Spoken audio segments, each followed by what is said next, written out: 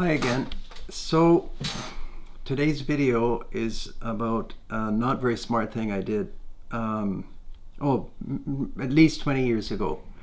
And it involves uh, putting the wrong cartridge in a in a rifle. And, and I've seen this, I've seen other people do this. Uh, it, when it happened, I was quite shocked and um, uh, surprisingly the rifle was not destroyed. Anyway, I kept this, and uh, you know who who knew about YouTube way back when, but uh, this this bullet here is from a 7.62 by 39, and that is what it started out looking like. And this is a 7.62 by 39, and this is a 243 Winchester. Now, put me on the range with um, certain people and a number of guns and a number of different cartridges, it's kind of a recipe for something going wrong.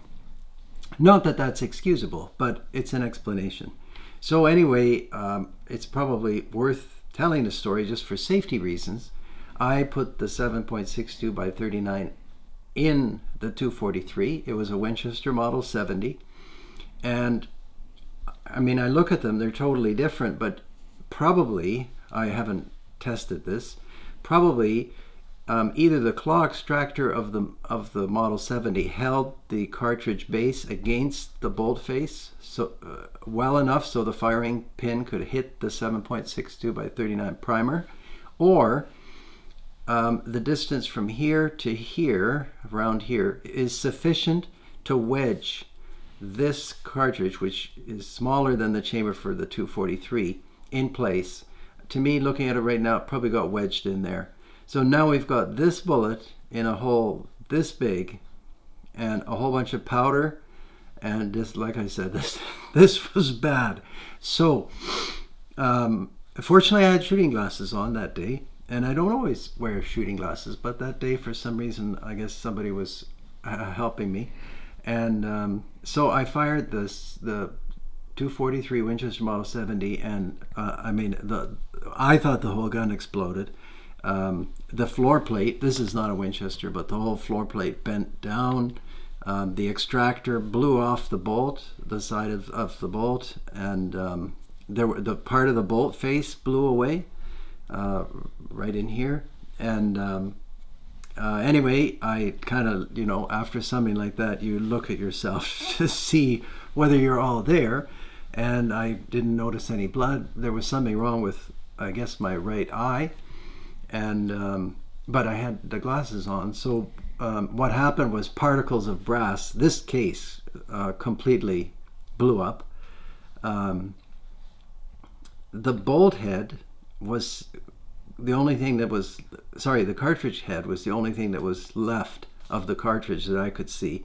I don't know where all the rest of the pieces went, but I had small pieces of brass in my eye. I still have them actually. The the doctors just left them there. So I don't know if I see better or worse, but they're there anyway.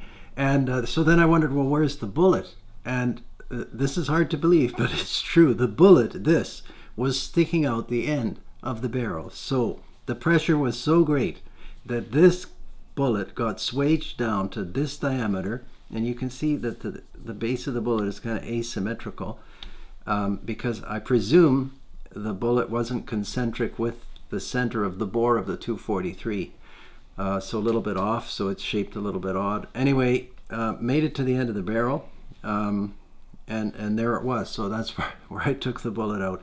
I've seen accidents, similar ones with 7 by 57 in 270. I, I, I, I don't know why people would do that, but then I don't know why I did this either.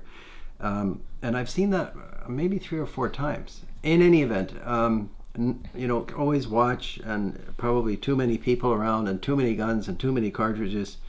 Uh, maybe not a great idea. And uh, with shotguns, of course, you maybe are aware 20 gauge will slide right through the chamber of a 12 gauge and it'll sit right at the front of the chamber and it won't move. Then you, a person can load a 12 gauge shell, fire the shotgun, and it's a disaster. Um, so don't do that either. Anyhow, uh, a very unusual video, but I thought since I've saved these bullets for that long, I have another one here, which is an entirely different story, but for another video. So um, there it is, my first safety video, and thanks a lot for watching. Uh, we'll see you next time. Bye-bye.